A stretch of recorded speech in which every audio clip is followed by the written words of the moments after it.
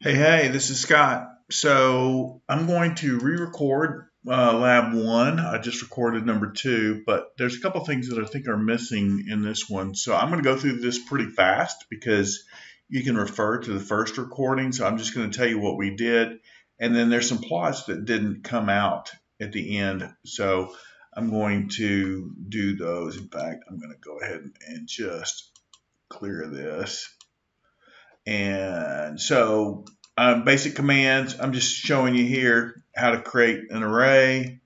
Um, you know, showing you down on the, the lower left panel. Again, the way I'm doing this, I'm just holding the control key and hitting enter um, on my PC and then it will execute those commands. Again, I covered all this last time what in much more explicit terms, but again, I'm just creating an array I can add arrays together.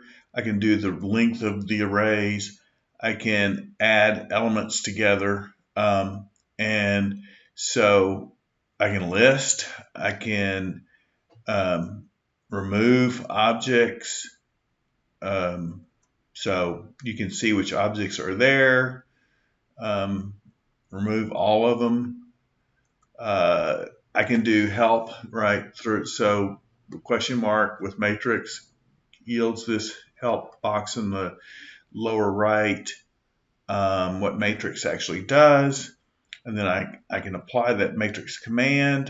I'm going to create um, two by two. These are the elements that I'm going to I'm going to insert one, two, three, four. And since I'm going to do that by rows and, and columns, I have a two by two. Now, if I wanted to do um, this, and then I want to do this by uh, columns, um, um, by again, I'm sorry, by rows. So right here, by row true means that I'm going to fill the rows first. Um, so that's what's going to happen with one, two, three, four. So it's going to go um, across the top and then to the next row, then to the next row. Hopefully you get that. All right. And then I can do the square root across all elements within that matrix. I can square the matrix as well. Um, I can create a vector of 50 random normal variates. So standard normal, that would be mean zero, standard deviation one. Um, I can you know, add. Um, I can do correlation between the two, obviously normal to normal, highly correlated. Um, I can set the seed so it's reproducible. When, so when I do the random stuff, um, I can reproduce that versus another seed will will create a different different one. I can create an average using the mean, right? So the mean of y gives me quickly that. I can do the variance of that. I can do the square root of the variance would be the standard deviation, which again, which should equal just the SD function as well. And then now let's get into some of these um, graphics that I was talking about, which are a little sparse. So plot XY, that's just a scatter plot, random, right? X and Y should see noise. Um, and then I can also do that color blue. Um, I'm going to skip this one. What this does, just so that you know, because I'm not going to take time to do it, this is actually going to create a PDF. Um, and this time it'll be in green. And so it's going to put that on my default um, file folder or directory where I am right now. Okay. Uh, let's see. I can do a sequence, right? So 1 through 10 with a sequence function. Um, or I can do that 1 through 10 with a colon, 1 to 10. What is that? I can do a sequence of negative pi to pi uh, as well um, with, a, with a grid of 50. Um, and I can look at what that looks like. So that's 50 of them. Um, it's a grid of 50 between negative pi and pi.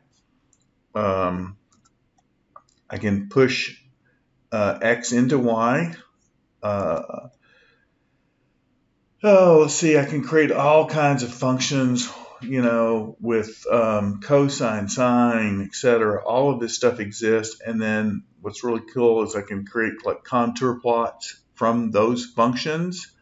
Um, so, and I can even add to that, right? I can add levels, so it's almost like a, a gradient. Um, I can uh, create additional contours here.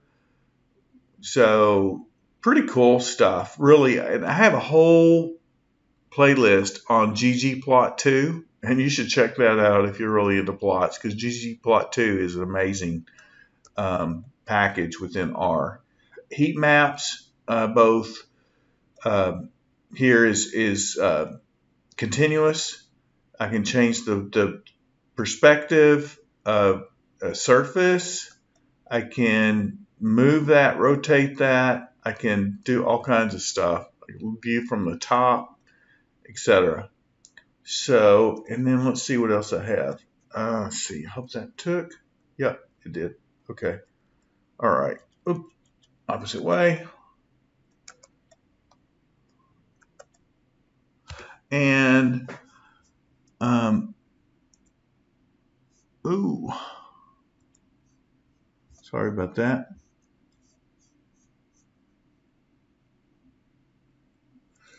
Unable to access index.